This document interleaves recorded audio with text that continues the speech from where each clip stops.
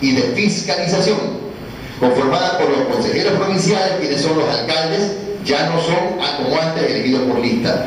Eh, es decir, el prefecto ponía, presentaba una lista de 15 aspirantes por el partido X y de esos 4, 5, 6, 7 eran, los, eran parte de los 15 consejeros provinciales. Ahora son los alcaldes